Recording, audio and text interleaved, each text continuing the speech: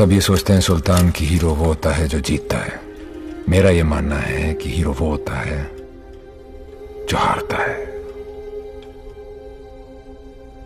क्योंकि वही जानता है जीतने की असली वैल्यू